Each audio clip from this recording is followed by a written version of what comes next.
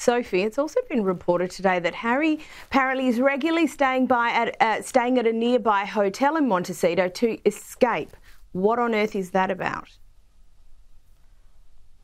Well, that's right. He's got this hotel room where he does escape from his family. Uh, perhaps he just needs time out. I'd probably need time out too if I was married to Meghan Markle. I mean, they never seem to have a nice word to say, they always seem to be complaining.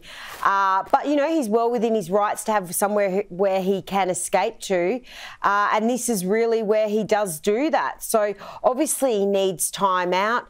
And uh, I don't blame him for that, to be quite frank. I do have to ask though, um, in a house that has nine bedrooms and a guest house, surely there's somewhere he can stay in his own home where he could honestly not even clap eyes on his wife, really, if he wanted to. That's a very, very large estate.